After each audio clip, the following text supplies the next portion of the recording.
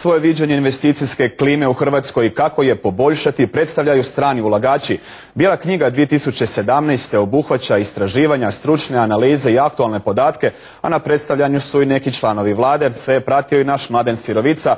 Mladene, što predstavnici stranih ulagača poručuju kako poboljšati, ali i pojačati njihova ulaganja? Pa smanjiti poreze i parafiskalne namete, e, poboljšati situaciju u pravosuđu i e, javno upravi, ali i fleksibilizirati tržište rada glavne su e, preporuke stranih e, ulagača u Hrvatskoj. Kažu da je provedena porezna reforma bila korak u pravom smjeru, ali pritom ističu da su e, porezi i dalje među najvišima u usporedivim zemljama. Također ističu da je vlada trebala ići jače u smjeru uvođenja poreza na nekretnine.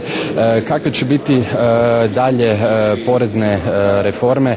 To je naravno bilo pitanje na koje je odgovarala potpredsjednica vlade e, Martina Dalić rekla je da je na stolu čitav niz mjera koje bi, od kojih bi se e, neke mogle uvesti do kraja e, godine, a predsjednik vijeća stranih ulagača Mladen Fogec također je upozorio na rastući populizam i istakao je da se zapravo velik broj investicija u Hrvatskoj na neki način blokira bez pravog razloga. Pogledajmo njihove izjave doći će neki investitori to strani pa će ostvariti profit, jel?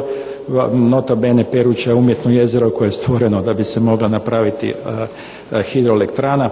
Dakle, e, nećemo golf na Srđu, nećemo Omblu, nećemo Peruću, nećemo asfaltnu bazu, a sada vidimo i ponovimo ne želimo i ni LNG više. Dakle, pitanje je što mi želimo Hrvatskoj, taj naš mentalitet. U tijeku jest provedba plana za smanjivanje administrativnih prepreka i opterećenja. Voljela bih, željela bih kao resorni ministar da provedba toga plana ide brže. Ipak do kraja godine očekujemo da će biti proveden negdje oko 70%. Plan sadrži 104 mjere.